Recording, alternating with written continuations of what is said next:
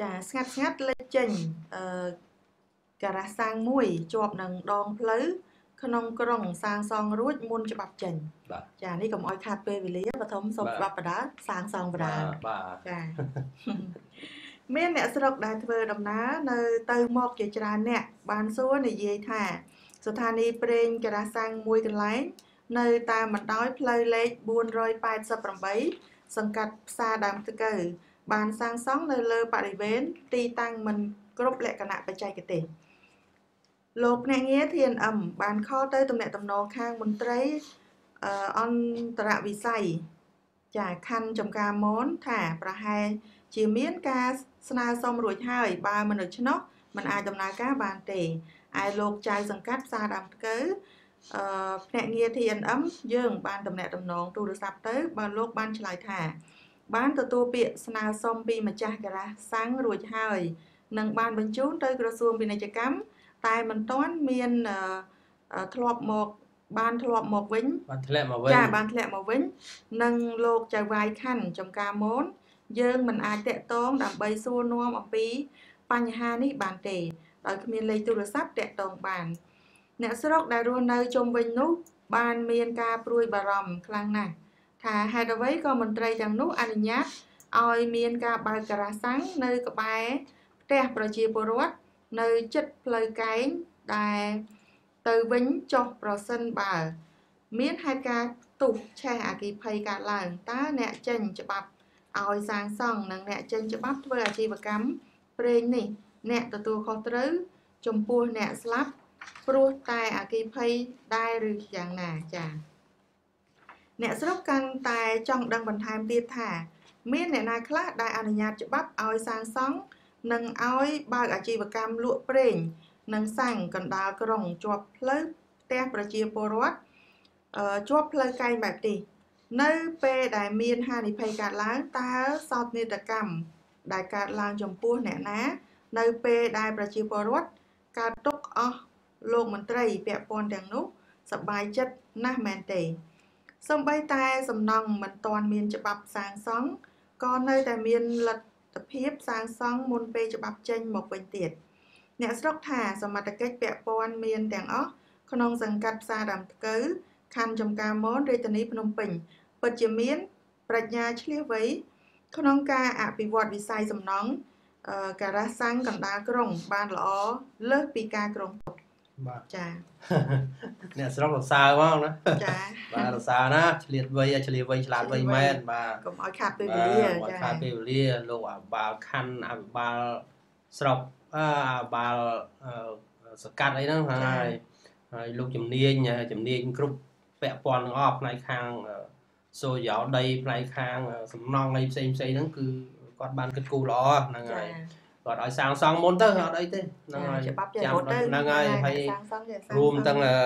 អ្នកលក់អឺអ្នកចេញអឺបានអាជីវករលក់ប្រេងបាទចាបានន័យថាអឺគាត់មានកម្រិតមួយចេះដឹងលឿនបាទគាត់ថាគាត់ឲ្យអភិវឌ្ឍមុនទៅអត់អីទេចាំគាត់រត់ការឲ្យតាមក្រោយបាទ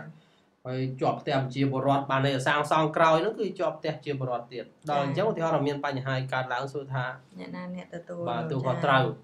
លោក បានទទួលខុសត្រូវទេបាទអញ្ចឹងចំណុចទាំងនោះបាទពិតជាកន្លងមកយើងដឹងហើយការ៉ាសាំងកើតក្រោយ បានន័យថាកើតក្រោយផ្ទះជាបរដ្ឋគឺมันអាចអនុញ្ញាតឲ្យធ្វើទេព្រោះអីផ្ទះជាបរដ្ឋធ្វើមុន បើអស់លោកធ្វើការ៉ាសាំងគឺនៅឲ្យដាច់ពីផ្ទះជាបរដ្ឋបាទនៅពេលដែលឆេះឆាបទៅនោះសួរថាមានអ្នកស្លាប់ប្រមាណអ្នកដែលត្រូវអស់លោកទទួលខុសត្រូវ ចាអញ្ចឹងអស់លោកពិតជាមិនបានទៅទទួលខុសត្រូវទេយ៉ាងច្រើនយកសំណែនបន្តិចបន្តួចបាទយកទៅសងជាធ្នូនឹងការស្លាប់របស់គាត់តែប៉ុណ្ណោះកន្លងមកយើងធ្លាប់ឃើញស្រាប់ហើយបាទសូម្បីតការធ្វើចរាចរណ៍អឺរថយន្តតាមផ្លូវក៏មានការឆាបឆេះយកតម្រាំដល់អឺសំណងចេះចេះចាបាទកន្លងមកយើងឃើញកន្លែងមួយចំនួនគឺអីកន្លែងចាក់សាំងហ្នឹងតែម្ហ្នឹងដងហើយឆេះ ផ្ទុះផ្ទះឆេះជួយទូឆេះវាបានមូលហេតុអីចាបាទហ្នឹងមូលហេតុអីចាបញ្ហាជក់បញ្ហាភ្លើងចាបាទ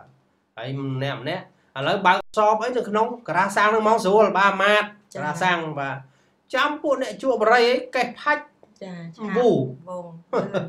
បាទហើយឥឡូវហ្នឹងគឺបើនិយាយអ្នកជក់គ្មានណាខ្លាំងជាងជប៉ុននៅកូរ៉េទេរាល់ថ្ងៃតែមកដល់កូនខ្មែរយើង ក៏មិនខ្លាំងជាងពួកអឺបងប្អូនជាងសំណង់កម្មករសំណង់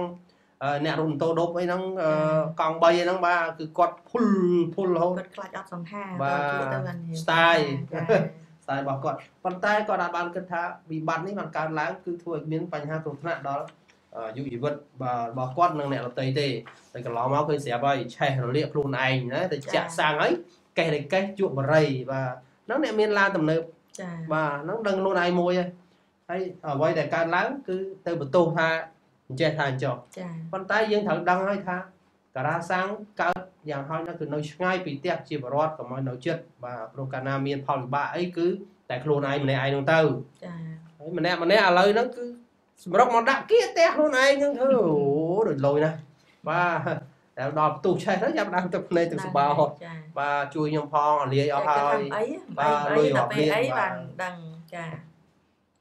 អរគុណច្រើនបាទនៅពេលនេះដែរយើងកំពុងតាមដានមើលថាតើសកម្មភាពនេះបាទដែលពាក់ព័ន្ធនឹងអ្នកទទួលខុសត្រូវនឹងតែអនុញ្ញាតបាទបាទបានន័យថា